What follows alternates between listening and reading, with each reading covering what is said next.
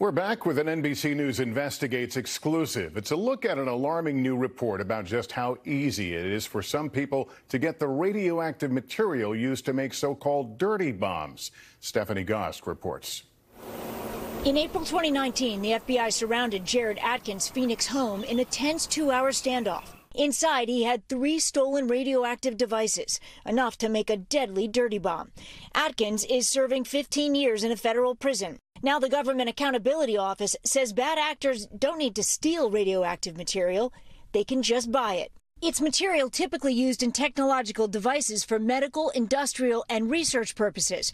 But the GAO warns in the hands of terrorists, even a small amount could be used to construct a dirty bomb. The GAO now telling us that pretty much anybody can get the materials to create a radiological bomb is extremely scary, and uh, I, I think we need to take immediate action. In a report exclusively obtained by NBC News, the GAO concludes security measures in place today do not adequately protect against the purchase of high risk radioactive materials. Using forged licenses, GAO investigators purchased two quantities of radioactive material from two different U.S. businesses, enough to potentially cause hundreds of deaths from evacuations and billions of dollars of socioeconomic effects. Radioactive materials are controlled by the NRC, the Nuclear Regulatory Commission. Specific security measures are triggered if someone buys large quantities. The investigators bought less than that, but the GAO is pushing for stricter controls for even smaller amounts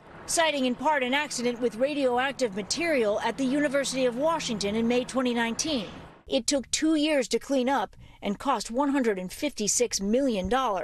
According to the report, national security officials tell the GAO there is increasing interest among terrorists and other bad actors to get a dirty bomb. Actual terrorist groups, uh, including neo Nazi groups in the United States, are trying to obtain a dirty bomb to launch actual attacks. In a statement to NBC News, the NRC says it is taking actions, including immediately communicating with the manufacturers of these radioactive sources and expediting a rule change to verify purchasing licenses. The NRC says the threat does not warrant an immediate change. The authors of the report disagree.